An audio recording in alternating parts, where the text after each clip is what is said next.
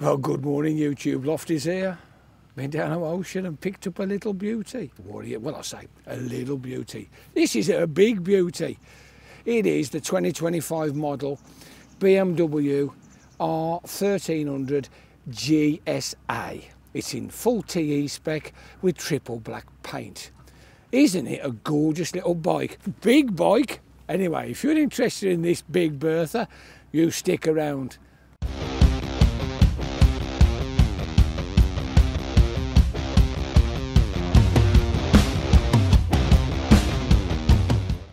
Well, good morning, YouTube. Lofty's here. Look at this little beauty. Chris has just run me through all the specs, and we've got a 2025 model GSA TE spec in triple black. How about that? So we're running in without the height control on. I'll show you that later. And we've got the seat in the eye position. I'll show you that later. Okay. So when it's switched off, you switch the power button. It, although it's not using the adaptive height, it does automatically drop to its lowest setting. So when you start it, there it goes, it goes up. So that is, there it is. So I'm standing, yeah, hmm, not bad at all.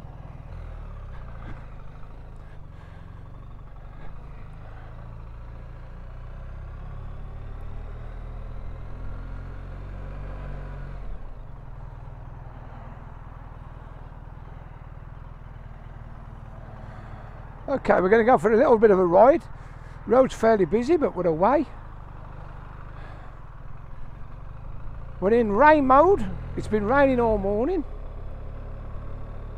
Roads are a bit moist, and I've got it set in road. And as I say, the adaptive height switched off.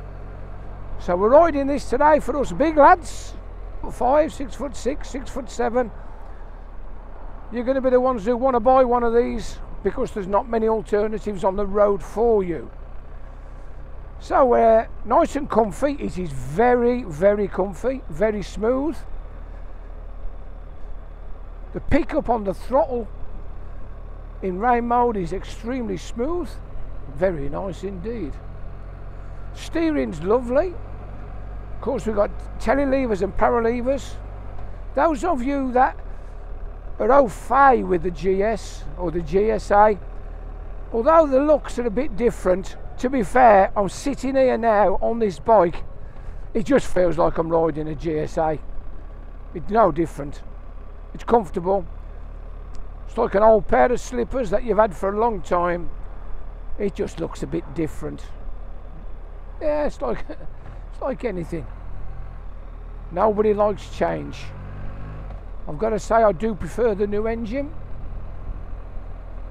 and I'm going to take it a bit of a thrash over one of these uh, less than nice uh, lanes round Mylor and then we'll have a walk round and I'll give you the full specs and I'll tell you all about it. To be fair, today I want to talk more about how the bike feels to me as a new purchaser, if you like. Unfortunately, it's not got the ASA, it's not got the clutch. I would have liked to have ridden the one with the clutch, but I know a lot of you GS owners are anti that sort of thing. But once you've done it a few times, you get used to it. I personally think the ASA is wonderful and I love it. I will say one thing I've noticed about this 1300 engine in general, whether it's in the uh, standard GS or whether it's in this model, the GSA, it's a bit tappety. It's a bit noisy. It reminds me of my old 1200 engine. The 1250 was a, a lot quieter, a lot smoother. But we'll see how we get on with it. As I say, I don't want to take too many risks because the roads are extremely moist. It's that time of year now where we've got lots of leaf mould. Right, here we go. We're going to keep to the right slightly. As you know, I'm using the clutch a bit at first just to let the, ah there we go, snick it in. Super quick shifter. Auto blip. Yeah, that's nice. Yeah, it works fine. As I say, on these roads around the back of Mylor, uh, there's not much point in having it in dynamic or dynamic pro or dynamic suspension because they're not the best of services. Just pull the visor down. Okay, we're going to take a right here and I'll give it a bit of stick.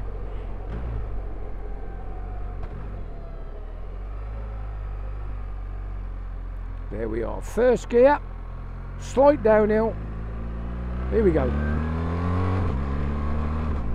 Yeah, the quick shifter's super. Works okay. As I said on the uh, when I rode the ASA, the GSASA, all these acronyms. The GSASA, automatic clutch. I found the gearbox to be superb. Now today went on the GSA with a manual clutch, manual gearbox, everything and it's nice, it's smooth, it works well. So if that's your bag, you get one. I've got a bit of traffic about, so I'm just down a hill now. I'm just going to use the auto blip to see what it's like. That's just dropped it into second, slowing us down. That's lovely. Bit of revs. I don't expect the quick shifter to work wonderful in rain mode, but it does work well.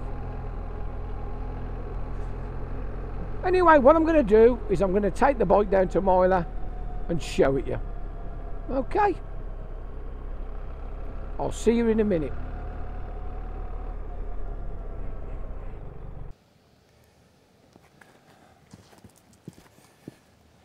Good looking machine. Looks far better, far better in the flesh than any of the photographs I've seen. What do you think? Looks superb, doesn't it?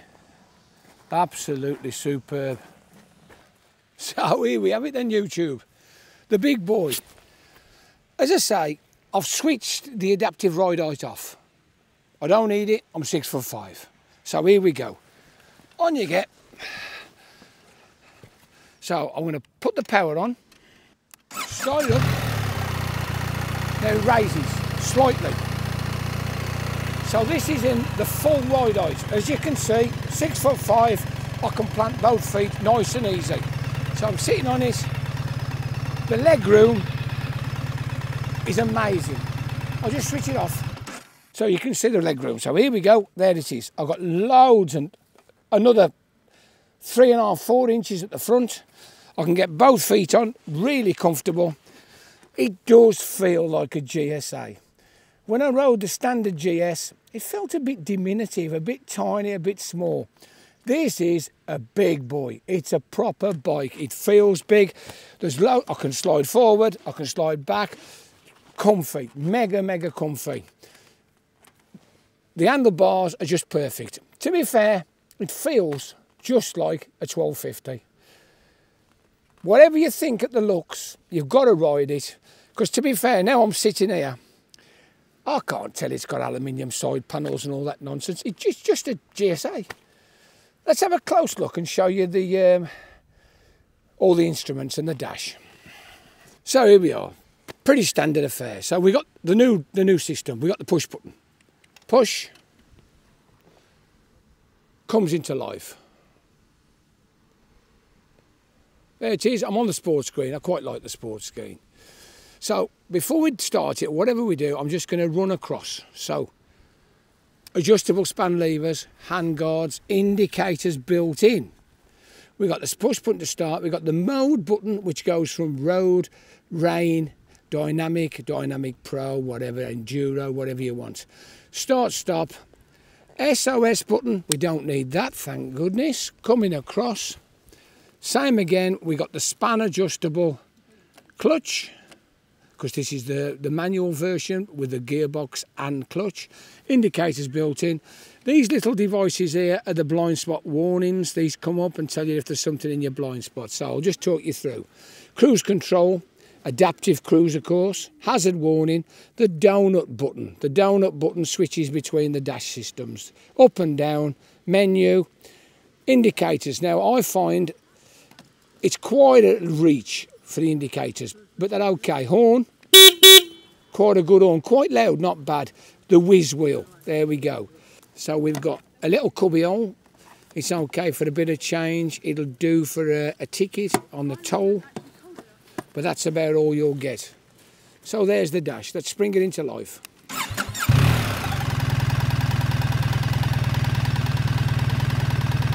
Here's the sound from the cockpit. Very hard to over rev. Let's have a listen from the exhaust. So as I say, we're in the sport dash. You push the donut. Now you've got your rocker switch, your multi rocker switch. You come down, depending what you want to actually activate. So the one with the dot by it is where it's set. So it's on damping at the moment. So if we go down a ride height, we push the whiz wheel to the right, it changes the ride height. As you can see, dampening, push it to the right, road, press it one way, press it the other way, dynamic, ever so simple, very intuitive. DCT is traction control, it's on, there are various settings. Windscreen, which is what the, if you look, it's got the push and hold, so that's where the donut has been set for the push and hold to operate the windscreen. If you just um, operate the up and down, it will do the, at the moment, the heating system, which is grips and seats. If you push and hold, it goes to screen and you go up and down with the screen. I've showed you that on a previous one. So there we go, heating. So you've got a choice between uh, grips on and off or seats on and off. It's all pretty intuitive to be fair, it's not a problem. So you pull it back to the left and out you come. As you can see, traction control warning and this is uh, for your adaptive traction. You can set it one, two or three bars depending on how close or how far away you want it to act before it slows you down. It's all very intuitive, it's very, very easy. It's a simple bike to use and operate. Shall we do the specs? Right, let's get the specs. What exactly have we got? We've got the 2025 model BMW R1300 GSA. It comes in three colours, triple black, Karakoram green or the trophy. This is the triple black. This is the same 1300cc air water cooled four stroke overhead valve 8 valve shift cam boxer twin that's fitted to all of the R1300s that have been released. So it's the GS and the GSA, of course. The others are going to follow the RT, the R and the RS. They will be coming. 145 brake horsepower at 7,750 revs. 110 foot-pound at 7,750 revs. This is the manual. It's a six-speed shaft drive with a cardan shaft on the back. I've deliberately spec this so as it's got the normal bike. In standard trim, it's 870 to 890. When you activate the suspension lowering, the automatic suspension, it drops it by 30 mil. Now, this is a bit of a subject. Now, there's lots of seats and lots of options. You can buy this bike in TE spec with a 790 seat. So the low seat, comfort low, adaptive ride control, it will lower to 790. Also, you can buy the Comfort High Seat. You can knock it up to a lofty 915 mil. That is huge, gigantic, probably as tall as you can get. But at the moment, we're running it at 890, and I find it very, very comfortable. Right, 30 litres of fuel, big tank. One thing that I do notice, which is a bit strange, is this this weld. It doesn't look so bad on this um, grey, but it, on the red it don't look so clever. But it's a nice weld and it's well done. So it holds 30 litres of fuel. It is 269 kilograms wet, no luggage, no anything. So that's the basic bike. I believe it's within a pound or two of the old bike. So we're only splitting hairs. It's a big bike, it's a heavy bike, and by the time you've got it loaded up with three boxes and a pillion, it's going to be a lot heavier. So you know the score. Let's have a look at the front end and the back end. On the front, we've got an Evo telelever with twin 310mm discs and a BMW badged four piston caliper. I believe they are Brembo, but they're badged BMW. We're running a 120 70 19. On the rear end, we've got an Evo Paralever. There's the cardan and the Paralever. We've got a single 285mm disc with a two piston BMW badged caliper. On the rear, the wheel is a 170 60 17, also running Metzeler Tourance next. Nice tyres, they're the next twos, I believe. Engine bars as standard. Now, as you can see, this little affair here and this little affair here for the luggage. I'm going to clip to the other video now and show you the luggage. Okay, so we got the rally. It's all the way down. These are the boxes. Look at these little boxes. We've got a black box. There's a choice of, or a silver box. Hey, what do you think? Quite chunky. Dave's took the key, so I can't take it off, but I can open it for you. Nice and easy. Just pull the little lip, flick, open it comes, and it does come off as it happens. How about that? It's fairly capacious. I'd say 35 litres. Yeah, not bad, 35 litres. I'll put it down and show you it again. So, lines up and locks. You pull the little tab, lift, and away you go. Not bad. Now, the right hand panel here, no electrics. This little device here is the electric connection for the top box and the little connection on the side here, same as the standard GS. This is the connector for the USB port inside. So the electrical connections on the side, USB port here on the back. Looks like a standard USB USB-C. Huge temper. It's a bit like the Motec ones. You pull and lift. Dead simple. Just got a little locking mechanism. There it is. Pull and lift for the fuel tank.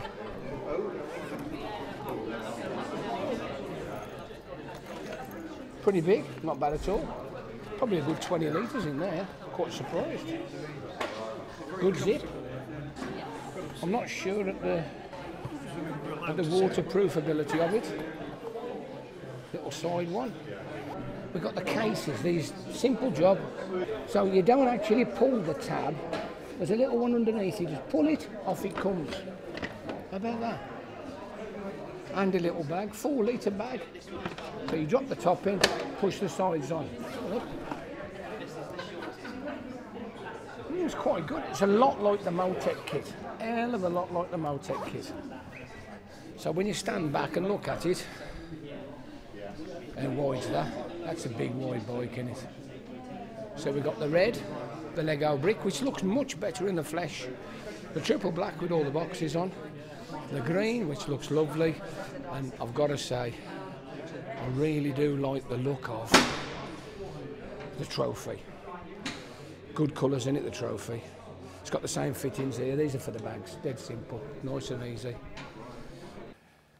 Okay, so what we got? We've got ET grips, cruise control, TPMS, keyless, electronic DSA, you name it. Auto white, auto shift, ride assist, top cases, comfort. Uh, you, the list just goes on and on and on and on.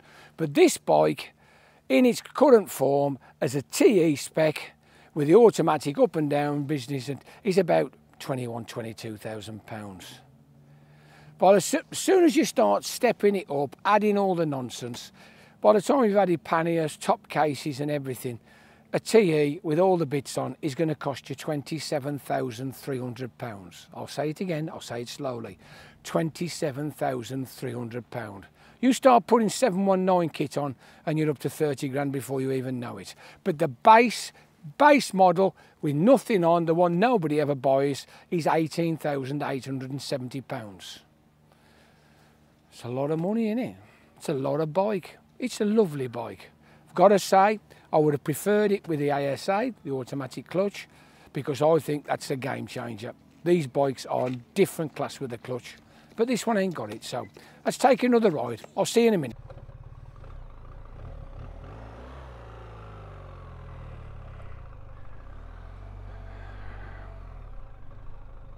Okay then YouTube, you've had a look round. What do you think? Just give you another quick look at Mylor Yacht Harbour. It's a shame the sun's not shining today. This is an absolute beautiful place. If ever you're down here in Cornwall, you come down to Mylor Yacht Harbour to the, the yacht club here. There's a lovely cafe.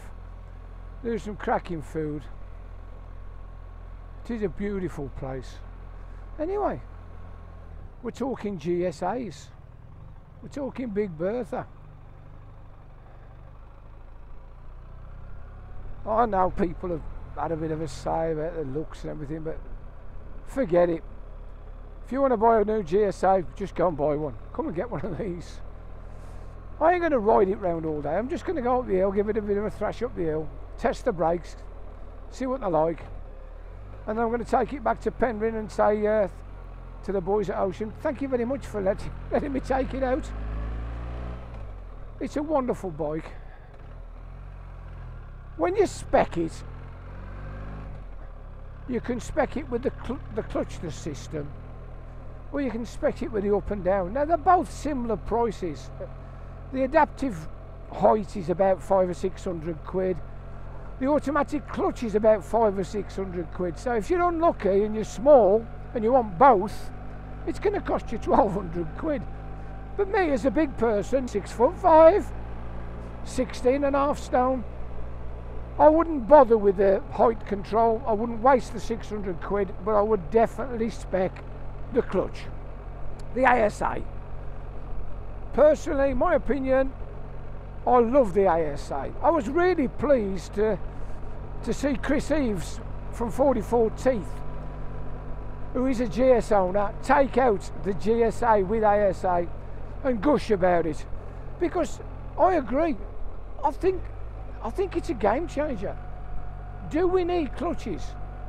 I don't think we do. These bikes go so well without a clutch. Okay, so here we go. We're coming around the bend. We're going to do a slight downhill. I'll just do a bit of a brake test for you. Here we go, back brake. Now, considering it's wet, it did aggravate the ABS a little bit, but not too much. So away we go. Back up to 40 again. Front brake. Yeah, a little bit of a pulse, not too bad. Not bad, they're a bit green, they're a bit new, a bit fresh. So, what are we doing? 35 mile an hour, down a hill, quite steep, front and back. Yeah, it's good. It's, it don't hold it up to a braking stop like the TE uh, XR does. Now, the brakes on that are amazing. This is a big heavy bike and it feels big and heavy. It's a big bike, to be fair. I know I keep saying it. It's got a fantastic cruise control. So I'll just knock the cruise on now and I'll drop it back to 20 mile an hour. I know we're in the 30, but it don't matter. We're going to drop into a 20 any second. So there we are, we're in third gear doing 22 mile an hour. It ain't grumping, it ain't moaning. I'll just drop it back a bit more. 22, 21. How good's that? Slow riding. Absolute cinch slow riding. This bike is well balanced. Take it off road, do what you want. So here we go. Up the hill. I'll just wait till I clear the houses. I've put it in road mode so the throttle's a little bit more responsive. So we're nearly there, we're still doing 30. I'm going to pop it open on the steep hill. Here we go.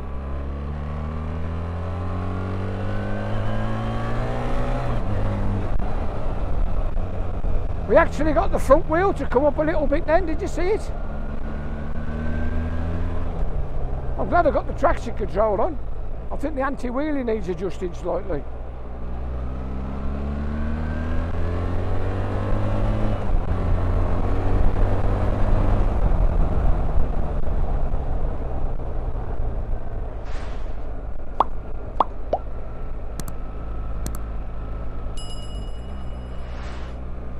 You pays your money, it takes your choice.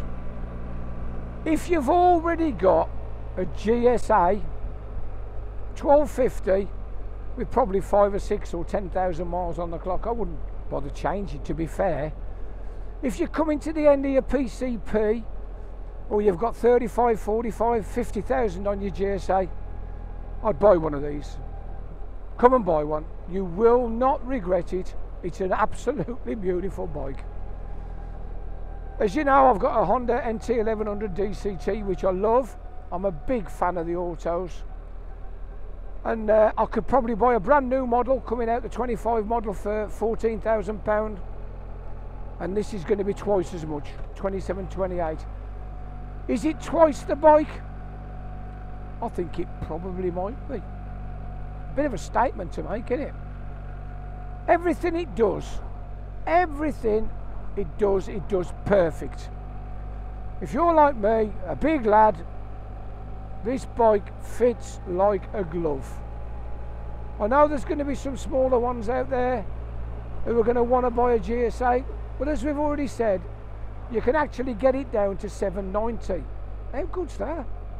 The difference between 790 and 915 is just amazing. Anyway, I'm coming down the bottom, I'm nearly at Penryn, and there's no point taking it out no longer.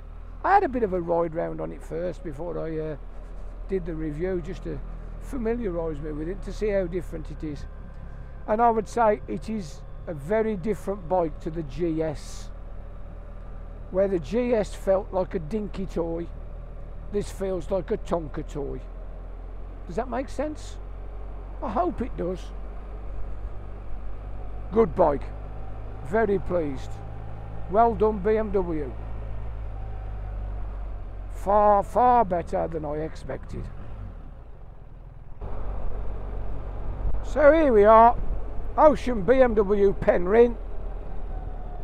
If you're down here, come and say hello to the lads. They'll sort you out a test ride. Anyway, this is the Lofty Biker saying ta for now. Ta-da. Well, that's a nice bike.